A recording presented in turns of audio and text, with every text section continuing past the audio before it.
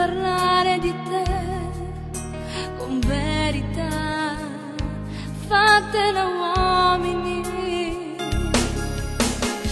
Quanti dubbi, quante incertezze, se chiedono se esisti o sei frutto di fantasie, di fantasie.